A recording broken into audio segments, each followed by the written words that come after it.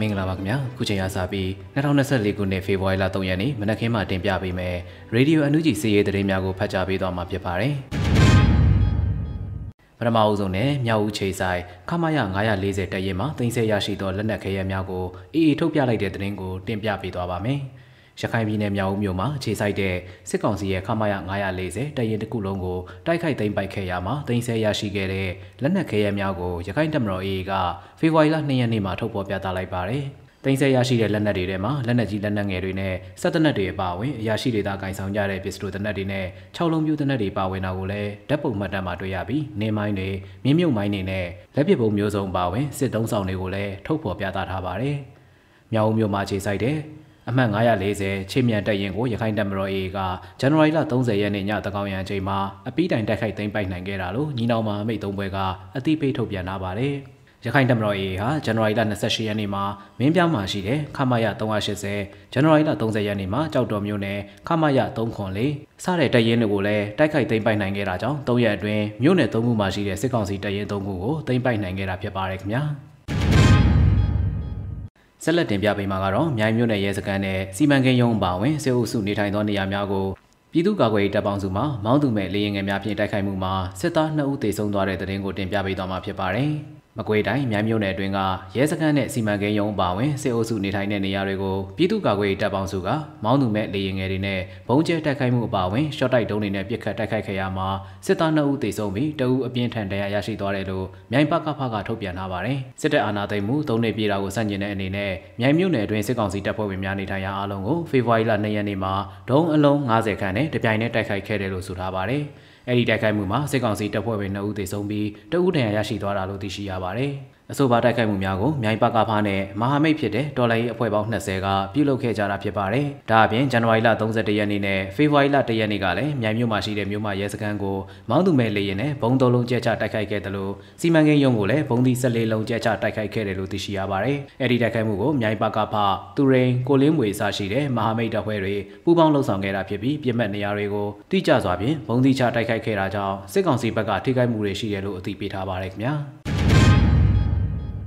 တဝယ်မျိုးဘုံမော်ရက်ကအတွင်းကင်းလှည့်ထွက်လာတဲ့စစ်တပ်အင်အားတရာခန့်ပါတဲ့စစ်ကောင်စီတပ်အားကာကွယ်ရေးတပ်များကတိုက်ခိုက်လိုက်တဲ့တဲ့ရင်ကိုဆက်လက်တင်ပြပေးသွားပါမယ်။ဖေဖော်ဝါရီလ2ရက်နေ့မှာဆိုပါစီရေးတဲ့ရင်ကို Special Guerrilla Force အထူးပျောက်ကြားတပ်ဖွဲ့ကအတည်ပြုဆိုထားတာဖြစ်ပါတယ်။ ဇန်နဝါရီလ31ရက်ည8:45မိနစ်ချိန်ခန့်မှာဒဝယ်မြို့ဘုံမော်ရက်ကွယ်စောမီညိုလမ်းမှာကင်းလှည့်ထွက်လာတဲ့စစ်ကောင်စီအင်အား100ခန့်ပါသောစစ်ကြောင်းအားပြည်သူ့ကာကွယ်ရေးတပ်မတော်ဒဝယ်ခရိုင်အမှတ်2တရင်ဤတက်ခွဲတစ်ဖြစ်သော Special Guerrilla အထူးပျောက်ကြားတပ်ဖွဲ့ဒဝယ် Defense Force DDF ဒဝယ်ခရိုင်ပြည်သူ့ကာကွယ်ရေးတပ်ဦးတက်ခွဲတစ်တို့မှအလစ်အငိုက်တိုက်ခိုက်ခဲ့တယ်လို့ဆိုထားပါတယ်။ စစ်ကောင်စီရန်သူတပ်ဖွဲ့မှ12ဦးသေဆုံးခဲ့၍14ဦးထိခိုက်ဒဏ်ရာရရှိခဲ့ကည9:30မိနစ်ခန့်အချိန်တွင်တပ်ဖွဲ့ဘက်မှအောင်မြင်စွာဆုတ်ခွာနိုင်ခဲ့ကြောင်းသိရှိရပါတယ်ခင်ဗျာလူလူအလုံးပါဝင်ပြီးကော့ဘရာစစ်စင်ရေးမြန်မာငွေသိန်း9000ကမ်ပိန်းမှာကြီးကားများဝယ်ယူ၍ကော့ဘရာရဲဘော်များတို့ပေးရတဲ့တဲ့ရင်ကိုဆက်လက်တင်ပြပေးသွားပါဦးမယ်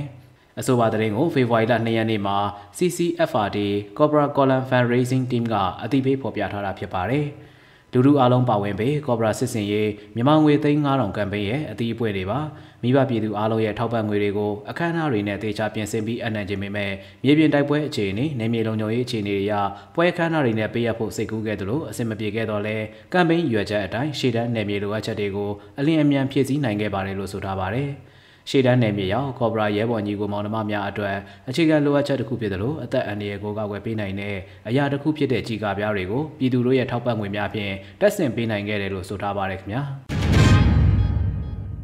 ဆက်လက်တင်ပြပေးမှာကတော့နန်းဆန်မြို့မှာမပောက်ကွဲသေးတဲ့စစ်ကောင်စီရဲ့လက်နက်ကြီးတစ်လုံးအားစော့ကစားရာမှာပောက်ကွဲပြီးကလေးသုံးသေဆုံးသွားတဲ့တဲ့ရင်ပဲဖြစ်ပါတယ်။ တအောင်ပြည်နယ်တမဟာနှစ်စစ်ဒေသနန့်ဆန်မြို့နယ်မှာမပောက်ကွဲသေးတဲ့လက်နက်ကြီးတစ်လုံးအားကလေးငယ်၃ဦးကစော့ကစားရမှာပောက်ကွဲပြီးကလေးငယ်၃ဦးစလုံးပွဲချင်းပြီးတိတ်ဆုံးသွားခဲ့တယ်လို့ TNL ကအတည်ပြုထားပါတယ်။ဖေဖော်ဝါရီလ2ရက်နေ့မနက်9:00နာရီချိန်နတ်ဆန်မြို့နယ်ဇယန်းကြီးရက်ကွက်မှာနတ်ဆန်မြို့တိုက်ပွဲအတွင်းမပေါက်ကွဲပဲကြန့်ရှိနေတဲ့စစ်ကောင်စီရဲ့လက်နက်ကြီးတစ်လုံးအားကလေးငယ်၃ဦးမှတွေ့ရှိရမှာစော့ကစားကြစဉ်ပေါက်ကွဲခဲ့ခြင်းဖြစ်တယ်လို့သိရှိရပါတယ်။ထို့ကဲ့သို့ပေါက်ကွဲမှုကြောင့်မိုင်းနေမင်းအောင်အသက်6နှစ်မိုင်းလှိုင်မင်းအောင်အသက်10နှစ် မိုင်းအောင်ကျော်စောအသက်17နှစ်တို့၃ဦးလုံးပွဲချင်းပြီးတေဆုံးသွားခဲ့ပါတယ်။နတ်ဆန်တိုက်ပွဲတွင်စစ်ကောင်စီတပ်က၎င်းတို့တပ်ဝင်းကျင်အပြင်မြို့ရင်းတပ်ဆွဲထားသည့်နေရာများနဲ့ပြည်သူလူထုများ၏ခြံဝင်းတွင်ထောင်ထားသည့်မိုင်းများနှင့်မပောက်ကွဲသေးသည့်၎င်းတို့၏ပစ်ခတ်သည့်လက်နက်ကြီးများအားတအောင်တပ်မတော်မှလိုက်လံရှင်းလင်းနေပြီးတွေ့ရှိပါကအကြောင်းကြားရန်ညွှန်ကြားထားခဲ့တယ်လို့သိရှိရပါတယ်ခင်ဗျာ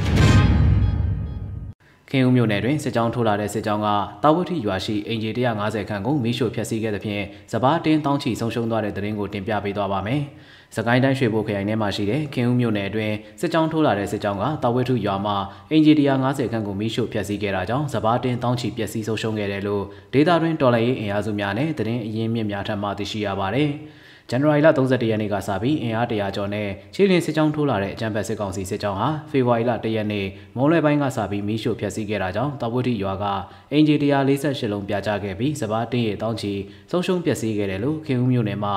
သတင်းမှန်ပြန်ကြားရေးကထုတ်ပြန်ထားပါတယ်။အဆိုပါစစ်ကြောင်းဟာဖေဖော်ဝါရီလ၁ရက်နေ့ကတဝုထုရွာမှာညအိတ်တက်ဆွဲပြီးမိရှို့ဖျက်ဆီးခဲ့တာလို့လည်းသိရှိရပါတယ်။ထိုစစ်ကြောင်းဟာရိတ်ခပြတ်နေတဲ့ပြည်နောင်ပြူရွာကိုရိတ်ခပို့နိုင်ဖို့အဓိကထားလှုံ့ဆော်ခဲ့တာဖြစ်ပြီး ဖေဖော်ဝါရီလ2ရက်နေ့မနက်9:00နာရီဝန်းကျင်မှာရေဦးမြို့ကိုပြန်လည်ထွက်ခွာသွားတယ်လို့သိရှိရပါတယ်။စစ်ကြောင်းပြန်ဆုတ်သွားချိန်မှာတာဝတိကျေးရွာတင်းကမီးလောင်ထားတဲ့နေအိမ်တစ်ခုတွင်မှာအကြမ်းဖက်စစ်သားတို့လို့ယူဆရတဲ့မီးလောင်ပျက်စီးနေတဲ့ရုပ်လောင်းတစ်ခုတွေ့ရှိခဲ့တယ်လို့ခင်ဦးမြို့နယ်သတင်းမှန်ပြန်ကြားရေးကအသိပေးထားပါတယ်။ ဇန်နဝါရီလ31ရက်နေ့ကစပြီးအင်အား100ကျော်နဲ့ခြေလျင်စစ်ကြောင်းထိုးလာတဲ့အကြမ်းဖက်စစ်ကောင်စီစစ်ကြောင်းဟာစစ်ကြောင်းထိုးလာစဉ်တွင်ကလန်ရွာကဒေသခံမျိုးသားတအူတရက်ကုန်းရွာကအမျိုးသားတအူကင်းပစ်ကျေးရွာကအမျိုးသားတအူစုစုပေါင်းရသား3ဦးကိုလည်းအကြောင်းမဲ့တပ်ဖြတ်ခဲ့တယ်လို့သိရှိရပါတယ်ခင်ဗျာ